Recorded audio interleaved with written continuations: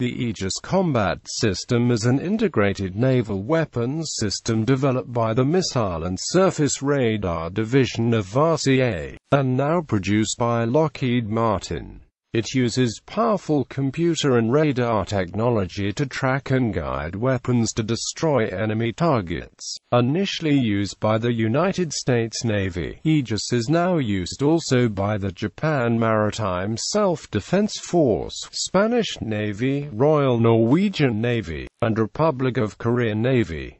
Over 100 Aegis-equipped ships have been deployed in five navies worldwide. The Royal Australian Navy selected the Aegis system for placement on its new air warfare destroyers, and it is part of NATO's European Missile Defence System. Etymology The word Aegis is a reference that dates back to Greek mythology, with connotations of a protective shield, as the Aegis was the buckler of Zeus, worn by Athena. Overview The Aegis combat system is an advanced command and control and weapon control system that uses powerful computers and radars to track and guide weapons to destroy enemy targets. The axis composed of the Aegis weapon system, the fast reaction component of the Aegis anti-aircraft warfare capability, along with the Phalanx close-in weapon system and the Mark Chapter 41 vertical launch system. MK41 VLS adopts a modular design concept, which results in different versions that vary in size and weight. The length comes in three sizes, 209 in from the self-defense version, 266 in for the tactical version, and 303 in for the strike version. The empty weight for an 8-cell module is 26,800 pounds for the self-defense version, 29,800 pounds for the tactical version, and 32,000 pounds for the strike version thus incorporating anti-submarine warfare systems and Tomahawk land attack cruise missiles. Shipboard torpedo and naval gunnery systems are also integrated. AWS The heart of Aegis comprises the AN Spy-1 radar, MK99 fire control system, WCS, the command and decision suite, and EDM-2 standard missile family of weapons. These include the basic RIM-66 standard, the RIM-67 extended range missile, and the newer RIM-161 designed to counter ballistic missile threats. A further EDM-2 based weapon, the RIM-174 standard ARM is currently in testing, and may be integrated into the system in the near future. Individual ships may not carry all variants. Weapons loadouts are adjusted to suit assigned mission The Aegis combat system is controlled by an advanced, automatic detect and track, multifunction three-dimensional passive electronically scanned array radar, the AN Spy-1. Known as the Shield of the Fleet, the Spy high-powered radar is able to perform search, tracking, and missile guidance functions simultaneously with a track capacity of well over 100 targets at more than 100 nautical miles. However, the AN Spy-1 radar is mounted lower than the AN SPS-49 radar system and so has a reduced radar horizon. The Aegis system communicates with the standard missiles through a radio frequency uplink using the AN Spy-1 radar for mid-course update missile guidance during engagements, but still requires the AN SPG-62 radar for terminal guidance. This means that with proper scheduling of intercepts, a large number of targets can be engaged simultaneously. The computer-based command and decision element is the core of the Aegis combat system. This interface makes the AX capable of simultaneous operation against almost all kinds of threats. The Aegis ballistic missile defense system program is intended to enable the Aegis system to act in a sea-based ballistic missile defense function to counter short and medium-range ballistic missiles of the variety typically employed by a number of potential opponent states. As of January 2014, 1919, the US and Japan were the only countries to purchase or deploy the Aegis BMD. Development Aegis was initially developed by the Missile and Surface Radar Division of RCA, which was later acquired by General Electric. The division responsible for the Aegis systems became Government Electronic Systems. This, and other GE aerospace businesses, were sold to Martin Marietta in 1992. This became part of Lockheed Martin in 1995. By the late 1950s, the U.S. Navy replaced guns with guided missiles on its ships. These were sufficient weapons but by the late 1960s, the U.S. Navy recognized that reaction time, firepower, and operational availability in all environments did not match the anti-ship missile threat. The new threat of Soviet anti-ship missiles exposed a weakness in contemporary naval radar. The requirements of both tracking and targeting these missiles was limited by the number of radars on each ship, which was typically two to four. In 1958 the Navy started the Typhon combat system, a prophetic program culminated in the futuristic but unreliable and SPG-59 phased array radar which was never made viable and was cancelled in 1963 to be replaced by the Advanced Surface Missile system. As a result, the U.S. Navy decided to develop a program to defend ships from anti-ship missile threats. An Advanced Surface Missile system was promulgated and an engineering development program was initiated in 1964 to meet the requirements. ASMS was renamed Aegis in December 1969 after the Aegis, the shield of the Greek god Zeus. The name was invented at the suggestion of Captain L. J. Stecher, a former Tartar weapon system manager, after an internal U.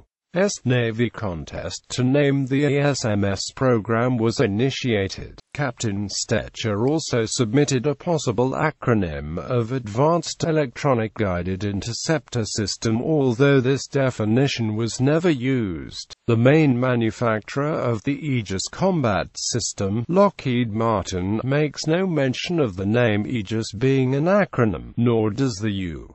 S. Navy, because the Aegis combat system is the key component of several cruiser and destroyer-class vessels. The ships are often incorrectly referred to as Aegis-class cruisers or Aegis-class destroyers. In reality, the radar system and the class of ship it is installed on are unrelated to each other. The first engineering development model was installed in a test ship, the US Norton Sound, in 1973.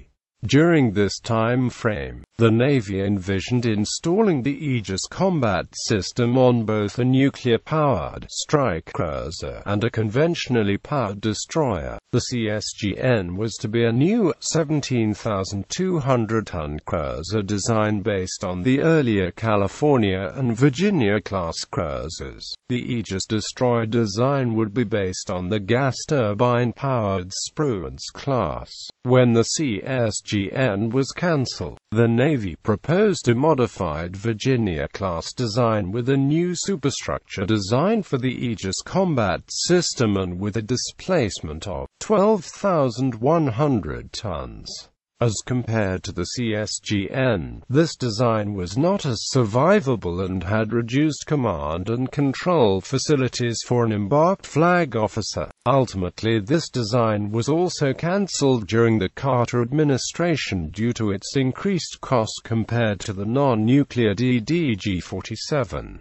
With the cancellation of the CGN-42, the DDG-47 Aegis destroyer was redesignated as CG-47, a guided missile cruiser. The first cruiser of this class was Ticonderoga, which used two twin-armed Mark 26 missile launchers, fore and aft. The commissioning of the sixth ship of the class, US Bunker Hill opened a new era in surface warfare as the first Aegis ship outfitted with the Martin Marietta Mark 41 vertical launching system, allowing a wider missile selection, more firepower, and survivability. The improved and SPY-1B radar went to sea in US Princeton, ushering in another advance in Aegis capabilities. US Chosin introduced the AN UYK-4344 computers, which provide increased processing capabilities.